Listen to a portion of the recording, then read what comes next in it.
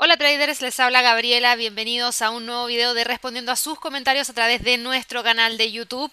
Hoy día, que están viendo este video, como es usual los días domingo, vamos a tratar de responder, o voy a tratar de responder mejor dicho, algunos de los comentarios que me han hecho llegar en las últimas tres semanas, porque he acumulado un poco de preguntas porque ¿para qué estamos con cosas? No envían muchas preguntas a través del chat. Sí veo muchos comentarios, muchos saludos, muchas felicitaciones. Así que muchas gracias a todas aquellas personas que dejan esos comentarios porque como yo voy revisando cada uno de ellos, efectivamente voy viendo cada una de las cosas que nos van colocando tanto a mí como a Javier. Así que muchas, muchas gracias por esos comentarios bonitos. Y también, obviamente, salen algunas preguntas. Preguntas de videos pasados, preguntas de lo último que hemos estado publicando a través del canal. Así que esa es la idea del video del día de hoy. Recuerden que en el último video del día domingo yo les dije vamos a estar haciendo un mix entre un video de respondiendo a sus comentarios y un video de análisis de algún sector, de alguna industria en particular, en donde podamos ver alguna oportunidad que se, que se venga eh, o que tengamos que estar alertas, como lo fue el de la semana pasada, cuando estuvimos hablando acerca del el sector de la industria de viajes y turismo. Más adelante podríamos estar hablando del sector de la construcción, del sector inmobiliario, del sector de infraestructura, del sector de materias primas, podríamos estar hablando quizás del mercado de divisas, no lo sé, vamos a ir viéndolo de a poco, pero sí sé que me han llegado muchas, muchas preguntas y de hecho tengo temas pendientes como por ejemplo hablar de algunos mercados emergentes, específicamente de Brasil, específicamente de Chile, que me lo han preguntado mucho. También tengo súper, súper pendiente y desde hace mucho tiempo, no crean que me he olvidado, el sector inmobiliario. Lo tengo muy pendiente desde un video que hice respecto al litio, así que sí, lo tengo acá en mi mente, no lo hemos hecho, pero por eso vamos a partir ahora con este mix los días domingo entre estos videos de ah, información de mercado respecto a industrias específicas o algo que tengamos que monitorear muy de cerca y también respecto a estos videos que estamos realizando hace bastante tiempo que tienen que ver con la respuesta a sus comentarios. Así que si es que es primera vez que nos están viendo y no nos, no nos conocían antes, recuerden que todos los días lunes realizamos un live de premercado americano que se repite todos los días de la semana a las 8.30 de la mañana hora de Nueva York. También tenemos un live de premercado asiático junto a Javier alrededor del cierre de la bolsa de Estados Unidos. Eso depende mucho del horario, eh, cambio de horario que hay en Estados Unidos, cambio de horario que haya también acá en Chile, así que para que lo tengan presente, pero todos los días hay un cierre de premercado asiático también. Así que si todavía no se han suscrito, háganlo de inmediato, denle clic a la campanita de notificaciones, ojalá que puedan regalarnos un like para que así sigamos creciendo y obviamente ustedes puedan tener también mucha más información. No se olviden de la suscripción, traten de hacerlo lo antes posible. Vamos ahora con la primera pregunta y la primera pregunta hoy día va para Diego. Diego me preguntó hace un tiempo atrás acerca de qué plataforma de trading utilizo. Y también me ha llegado otra pregunta que tiene que ver con cuál es el broker más recomendado o los más recomendados que me hizo John. Estas dos preguntas las uní porque son muy similares. ¿A qué me refiero con eso? Me refiero con las preguntas de plataforma, las preguntas de broker son las preguntas que más nos hacen todos los días, tanto a mí como a Javier. Todo el mundo quiere saber con qué broker operamos y la verdad es que en mi caso personal, y también creo que he escuchado a Javier decirlo, no operamos con un solo broker, operamos con varios brokers. Y esto es porque depende de las necesidades que cada uno de nosotros tenga. Y ojo, no necesariamente operamos con los mismos brokers. Entonces, para responder la pregunta, primero, respondiendo a la pregunta aquí de Diego, ¿qué plataforma utilizo? Mira, para analizar los mercados utilizo TradingView. Lo ves todos los días en el premercado eh, americano. Yo utilizo esa plataforma para analizar el mercado. Creo que es súper buena, tiene muchas herramientas, carga súper rápido. Entonces, para analizar, perfecto. ¿Opero a través de TradingView? No, no opero a través de TradingView porque los brokers con los que opero no me permiten en este momento el acceso para poder operar directamente a través de TradingView. Pero sí utilizo la MT5 para operar a través de un broker. Ahora, en base a la siguiente pregunta que nos hace aquí John, ¿cuál es el más recomendado o los más recomendados? Hay muchos brokers muy buenos muy buenos. Todos tienen diferencias entre sí y como lo mencionaba en ese video en donde me hiciste la pregunta, que es el video de, eh, creo que cinco preguntas para hablar, eh, dame un segundo, te lo confirmo de inmediato porque ya se me olvidó hasta el nombre del video porque fue uno de los primeros videos que hice y que subimos a través del canal de YouTube, pero creo que es cuáles son las preguntas más importantes para elegir un broker. Em, la verdad es que, como mencionaba ahí en ese video, todo depende de lo que tú estés buscando como eh, proyecto de trading. ¿Por qué? Porque Si yo te digo que un broker es súper recomendado porque te da acceso a miles de instrumentos, ¿es algo relevante para ti, sí o no? Si tú operas solo 5, ¿de qué te sirve tener mil instrumentos en una plataforma de trading? De nada. Si yo te digo, por ejemplo, que hay un broker súper bueno que te entrega, por ejemplo, muy bajos spreads, pero no tiene atención al cliente en español y tú no sabes hablar otro idioma que no sea español. ¿Te sirve ese broker, sí o no? No, no te sirve.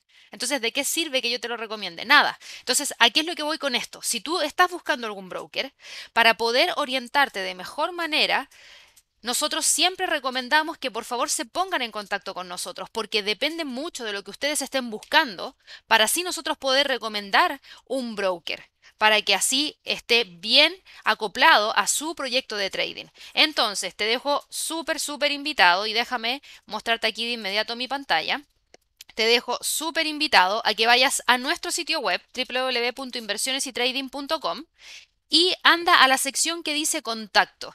En esa sección de contacto, tú vas a poder acceder a toda nuestra información de contacto. Nos vas a poder escribir a través del correo electrónico que es clientes.inversionistrading.com contándonos un poquito acerca de tu proyecto para que de esa manera nosotros podamos saber cómo guiarte de mejor forma.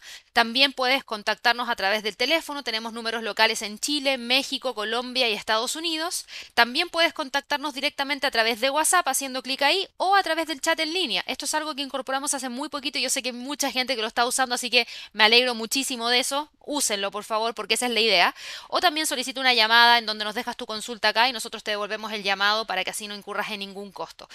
La pregunta de qué broker elegir o cuál es el broker más recomendable siempre depende del proyecto de trading personal que pueda tener cada uno de ustedes. Insisto, hay muchos brokers muy buenos, muy buenos. Y las diferencias son prácticamente mínimas, entonces depende mucho de ustedes finalmente cuál es el que van a tomar para la elección.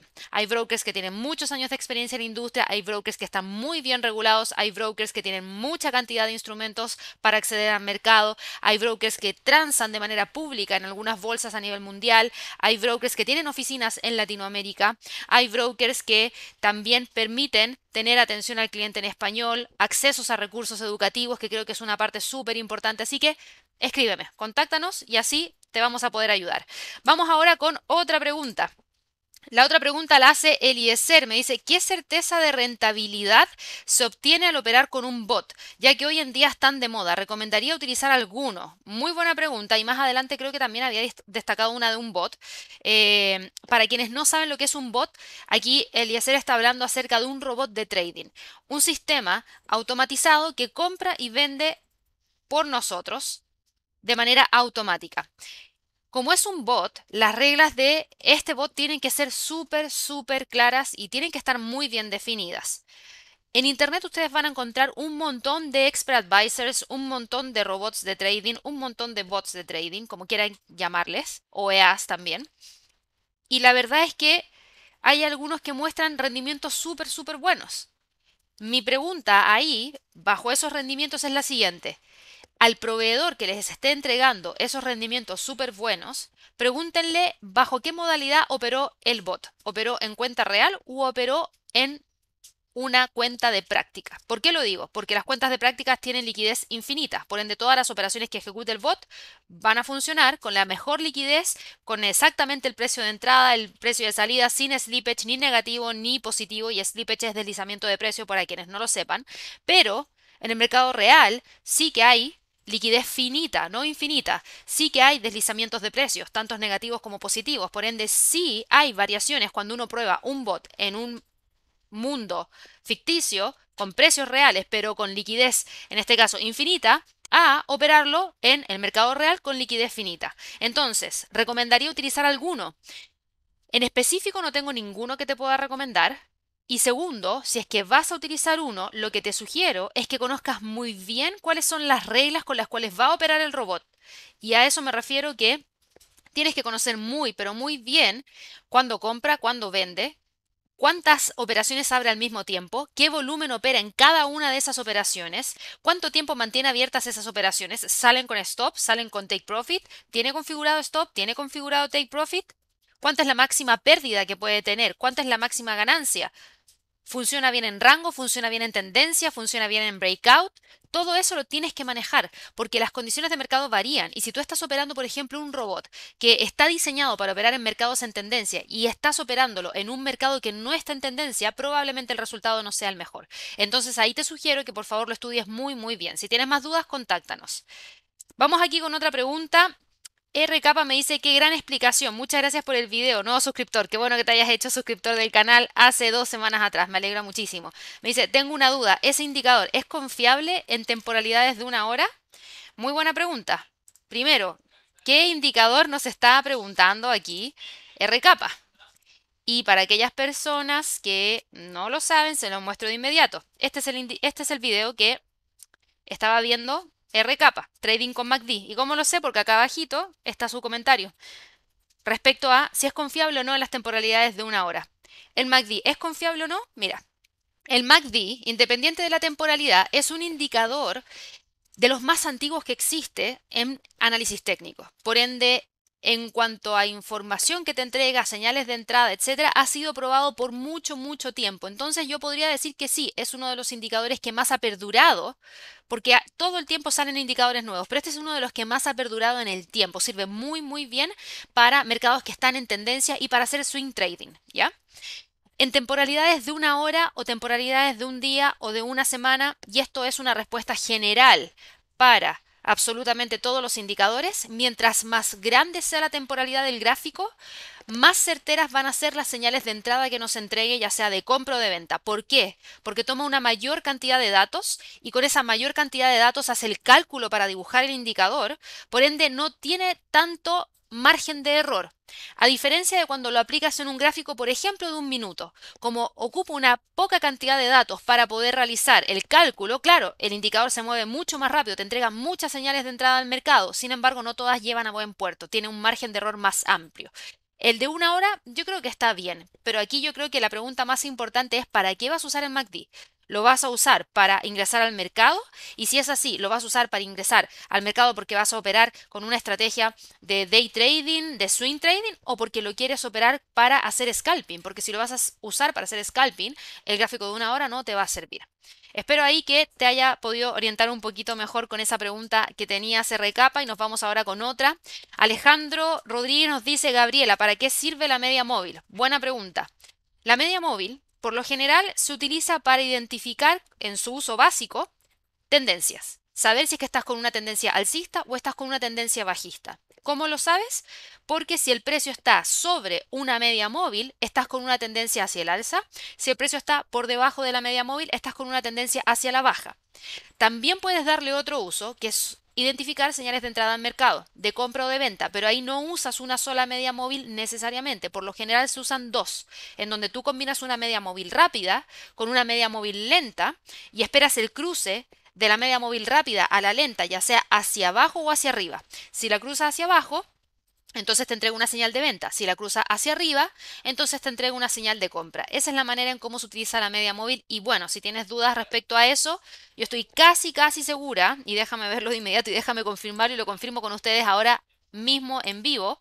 Aquí en el canal de YouTube, nosotros tenemos muchos videos tutoriales y aquí tenemos un video en específico que habla acerca de las medias móviles. Es un video cortito, dura 17 minutos, casi 18 minutos, y ahí explica cómo hacer trading con medias móviles. Así que te voy a dejar el enlace en este video, en la descripción, para que ahí lo puedas ir a revisar y de esa manera no te pierdas ningún detalle de eso. Vamos ahora con otra pregunta. Aquí hay una pregunta de Rafa hace 11 días. Saludos, una pregunta amiga. Si analizas gráfico a 5 minutos para scalping en el broker, ¿qué temporalidad recomiendas para la entrada? ¿1, 2, 3 o 5 minutos? Bueno, si estás analizando el gráfico en 5 minutos, la entrada debería ser en una temporalidad menor a la de 5 minutos. Pero ahí viene una segunda recomendación. Creo que un gráfico de 5 minutos no te va a ayudar mucho para tener la idea general de lo que está pasando con el mercado. A eso me refiero con el cuando tú miras un cuadro, tú lo primero que tienes que hacer es mirar el cuadro de lejos para ver toda la composición que hay en ese cuadro, ¿cierto? Pero luego cuando tú quieres ir viendo los detalles te vas acercando cada vez más e inclusive puedes mirarlo con una lupa. Con el scalping lo que tú haces es, claro, estar con una lupa buscando la entrada. Pero para poder ver el panorama general, te tienes que ir a un gráfico de periodos de tiempo más grande y por lo general 5 minutos no es suficiente. Ahí te recomiendo una hora, 30 minutos para que analices la temporalidad o el panorama general y luego vayas a ejecutar en 5 minutos o en un minuto. Ahí espero haberte ayudado también con esa pregunta, Rafa. Ismael, y aquí va muy parecido a la pregunta que nos hizo hace un par de minutos atrás otra persona. ¿Alguien sabe de algún bot que deje buenas ganancias? La verdad es que esto depende mucho y ojo, que esta es una pregunta un poquito distinta porque me habían hecho la pregunta respecto a cuál yo recomendaría. Y yo dije, yo no recomiendo ninguno porque no utilizo ninguno. Y aquí hay uno que, eh, una persona, Ismael en este caso, que nos está preguntando uno que deje buenas ganancias. Creo que aquí vuelve a caer la misma respuesta en relación al tema de las ganancias, porque si tú vas, por ejemplo, a la plataforma MetaTrader 5, vas a poder encontrar en la parte inferior una gran cantidad de expert advisors y en Internet también vas a poder encontrar una gran cantidad de expert advisors que te muestran el rendimiento de ese bot. La pregunta es, ¿bajo qué ambiente trabajó? ¿Real o bajo una modalidad demo, demostrativa? Si es real, ok, entonces operó bajo una modalidad real y entregó este resultado. Segunda pregunta, ¿esa cuenta en la cual operó tenía reglas de FIFO o no tenía reglas de FIFO? A eso me refiero first in, first out o puede abrir y cerrar operaciones independiente del orden en el cual se ejecuten. Número dos, ¿esa cuenta en la cual se operó permite realizar hedging? Número tres, en esa cuenta que se operó, ¿qué nivel de apalancamiento? Con, qué nivel de apalancamiento estaba configurada la cuenta. Y también la última pregunta sería, ¿cuál fue el balance o el valor líquido, mejor dicho, el valor líquido que tenía esa cuenta al momento de encender ese bot?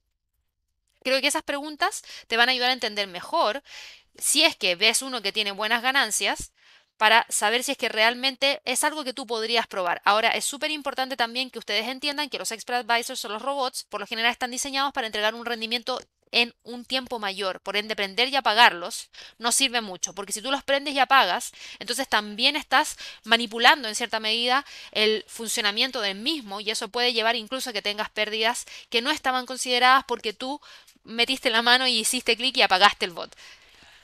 Vamos ahora con otra pregunta. Edward, hace nueve días. Me dice, cuando inicio el Trading View, todos mis pares guardados se desconfiguran y no se cargan como lo he guardado. No sé por qué me pasa esto. Siempre es así. Buena pregunta. Mira, aquí te comparto mi pantalla porque aquí viene una pregunta súper importante. Lo primero, cuando tú abres Trading View, ¿lo haces ya dentro de una sesión de Trading View o vas netamente a Trading View y abres un gráfico? Te lo pregunto porque mira, aquí yo estoy en una página de TradingView que no es mi cuenta en TradingView y yo puedo hacer ciertas cosas que me permiten, por ejemplo, por, por ejemplo, perdón, añadir un instrumento. Pero aquí me sale una sesión o, o me permite hacer inicio de sesión para así guardar la información. La verdad es que yo nunca he tenido ese problema de acceder a TradingView y que no tenga, en este caso, em, los pares guardados. De hecho, si yo voy acá y abro mi, mi TradingView, mi sesión de TradingView, te vas a dar cuenta que a mí automáticamente me carga con absolutamente todo y eso es porque estoy logueada en mi sesión. Entonces, no deberías tener ese problema y si tienes ese inconveniente, creo que ahí tienes que contactarte directamente con TradingView para tratar de resolver ese tema puntual. Vamos ahora con otra pregunta. Leandro hace ocho días me dice, ¿cómo puedo conocer, aprender y tener capacitación en los mercados financieros? Muy buena pregunta y creo que llegaste al lugar adecuado. Nosotros somos una academia de trading.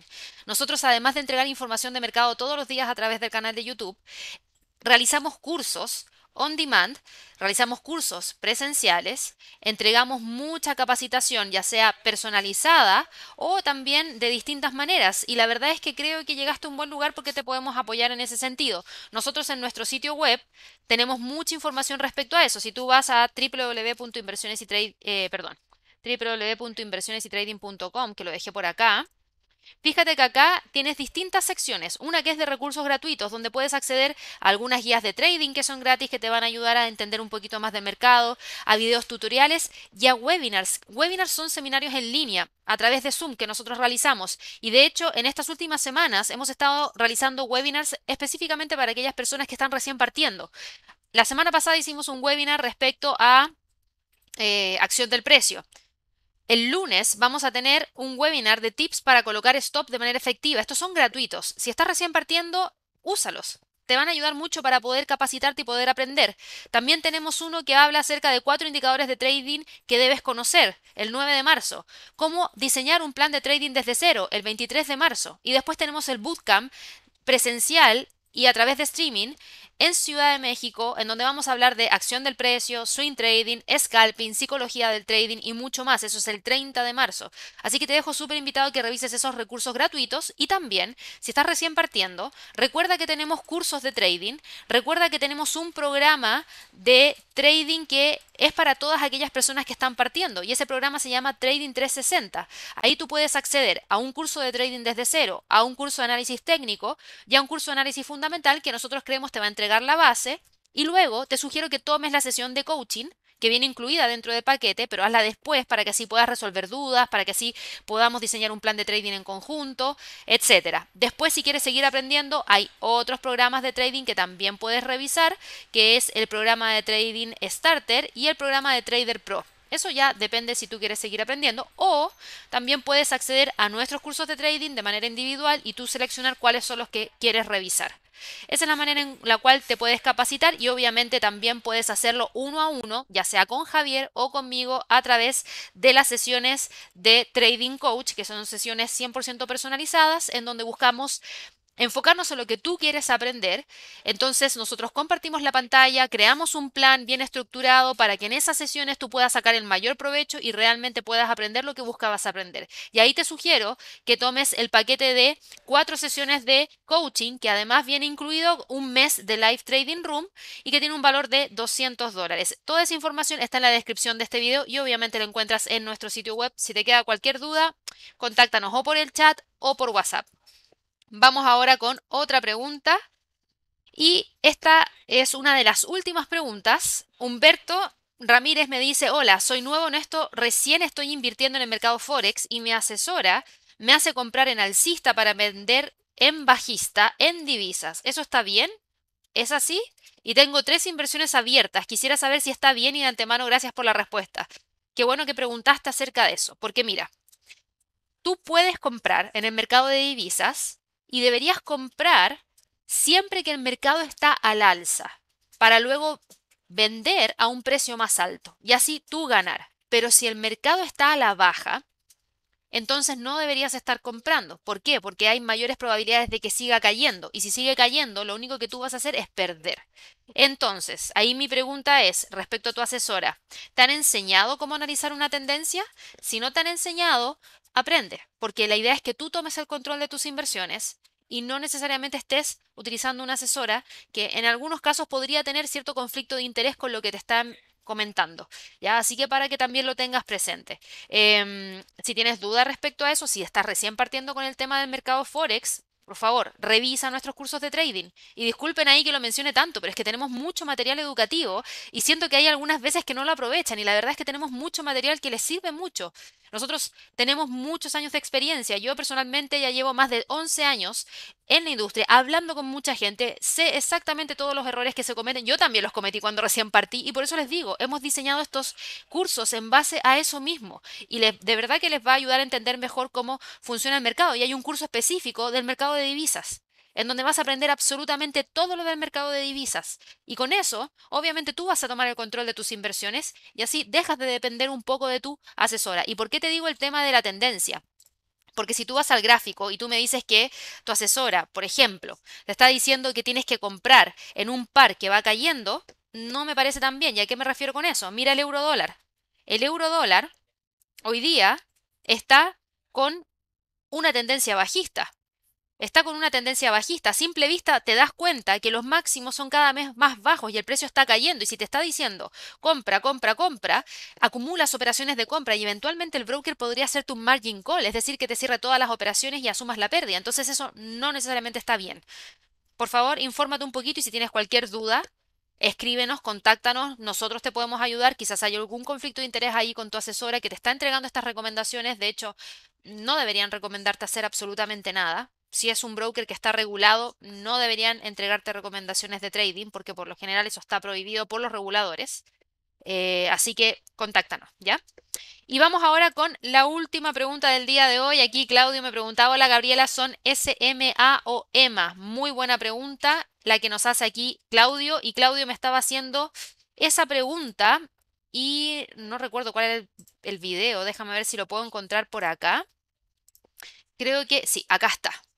El video del que nos estaba preguntando Claudio era este video. Eh, ¿Qué es el scalping? Aprende la estrategia de scalping en el trading. Y busqué exactamente la parte en la cual yo mostraba las medias móviles. Y aquí seguramente va a estar, porque este video tiene muchas preguntas, muchas preguntas, pero seguramente va a estar en alguna de todas estas preguntas la pregunta de Claudio, porque exactamente la saqué de acá. Fíjense toda la cantidad de preguntas que tenemos, son muchos comentarios. Y disculpen si no los he podido responder todos, pero he tratado de responder la mayoría de todas las preguntas que nos han hecho llegar. Pero él me preguntaba respecto a las medias móviles. ¿Son medias móviles simples o medias móviles exponenciales? Y fíjate acá, yo pongo MA. Cuando yo pongo MA, eso significa Moving Average. Eso es media móvil simple. Me salto la S porque asumo que es una media móvil normal. Simple. Si fuera una media móvil exponencial, aquí yo hubiese puesto EMA, Exponential Moving Average, para que lo tengas presente. Y si en algún momento tú lo ves a través del gráfico, eh, fíjate que si tú pones en el gráfico el indicador Moving Average, te vas a dar cuenta que es una media móvil simple para tú y aparece como MA acá arriba. Si tú pones una media móvil exponencial, te va a aparecer como EMA. Fíjate la diferencia. Te doy eso como dato en las plataformas de trading, en cualquiera. Se hace la distinción en la mayoría de los casos entre la MA y la EMA. MA es media móvil simple, EMA es media móvil exponencial. Así que con eso vamos terminando esta sección de preguntas de trading. Espero que les haya servido para responder todas, todas esas preguntas que ustedes tenían y que obviamente me hicieron llegar y que traté de responder. Así que espero haber respondido a la mayor cantidad de preguntas el día de hoy. Obviamente, mientras más preguntas me hagan llegar, más preguntas voy a responder los días domingo en estos videos de respondiendo a sus comentarios a través del canal de YouTube. Y antes de terminar, les quiero recordar que por favor recuerden suscribirse a nuestro canal, no se olviden, nosotros tenemos mucha, mucha información que entregarles, así que denle clic a ese botón de suscripción, denle clic a la campanita de notificaciones, ojalá que nos puedan regalar un like para que así podamos seguir creciendo y si nos quieren compartir eh, me refiero al canal, no a nosotros específicamente, sino que si quieren compartir el canal con sus amigos, háganlo, porque de verdad compartir sirve bastante para aquellas personas que todavía no saben cómo manejarse dentro de este mercado. Con eso me despido, espero que tengan un excelente cierre de fin de semana y nos vemos mañana a las 8.30 hora de Nueva York a través del canal en el premercado americano. Que estén muy bien. Hasta luego.